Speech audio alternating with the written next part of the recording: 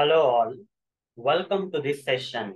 In this session, I am going to answer one of the Selenium interview questions. That is, what is exception test in Selenium? Let me answer. In Selenium automation, if you are deliberately causing some errors or exceptions to occur, okay, intentionally, you are modifying the Selenium automation code in such a way that it causes some exceptions to see how this Selenium code is handling such kind of exceptions, we do that. Okay. That is called as exception test. You see, if you write a proper code, you will not get any exception. But what if in case there is an exception coming in the code? If you want to know in advance how this Selenium automation code will handle such kind of exceptions in real time, if you want to know, you have to deliberately cause some errors or exceptions in the code. And by doing that, you will modify your original Selenium automation code if in case such kind of exception occurs, this is how I have to modify the code. Okay. To get to know that, we have to introduce this kind of deliberately causing the exceptions in the code and that we call as exception test. Let me practically demonstrate this for you.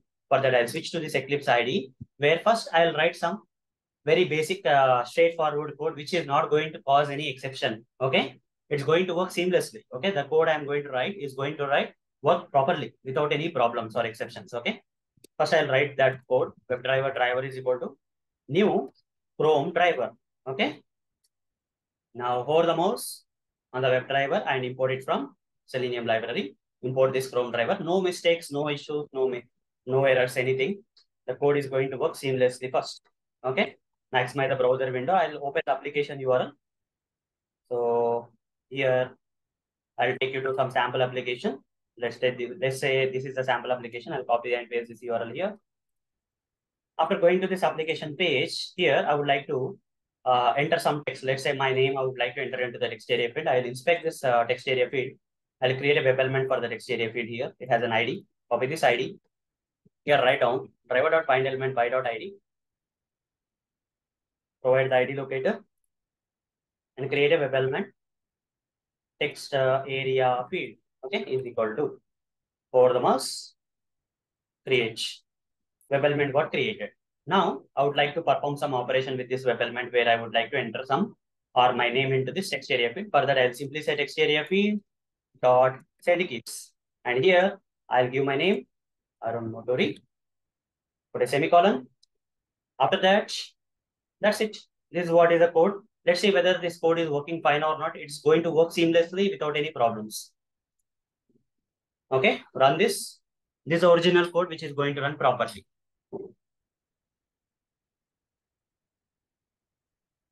So it's going to type my name into the text area field. Okay.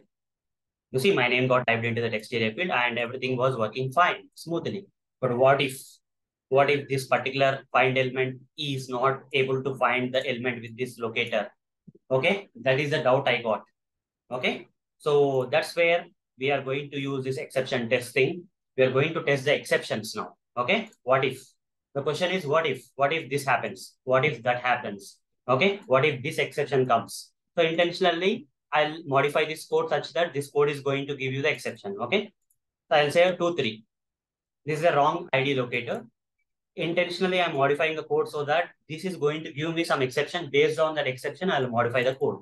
If in case in real time, such kind of exception occurs, how the code should handle. Okay. So right click run as Java application. This time you see, you will get an exception. Okay. Intentionally, I am causing the script to give an exception to me. We'll throw an exception. Go here and see. You see, I got an exception known as no such element exception. And also here, if you see, my name has not been typed. So what's the problem here? At which line we got the exception and all? 16th line. Why I got the exception? because here there is a wrong locator. So what I have to do is, I have to, okay, I have to put this inside the try catch blocks. Okay. Like this. Catch, no such element, exception. This exception that is coming, right? E system.out.println one minute. First, let me import this no such element exception from Selenium library. And here I'll write down system.out.println. I'll simply say exception got handled. Uh, and I'll print out the details here. Plus E dot get message. Okay. What is the reason for the exception? I'm printing it out. Fine. Like this, I'll do. Okay. This time, what will happen? So if the code is good, no exception will come. Okay. This operation will be done. If there is something, the exception will be handled. Okay. So this is the ultimate code you have to write. Originally, I have not written this code thinking that you're you are kind of uh, you had a feeling that uh, this locator is correct. So why should I implement try catch block originally? But because of this exception test in Selenium that I have done, the process I have done, where I deliberately caused this particular script to give an exception, then I got to know that I have to use try catch block here because there is a possibility of no such element exception here. This is a proper way of writing the code. Okay, so you understood what is the advantage of uh, using this exception test in Selenium automation.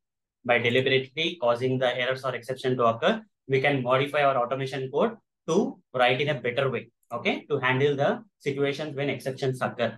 That is what is exception test in Selenium automation. So with practical demonstration, I covered in this session. So that's all for this session. Thank you. Bye-bye.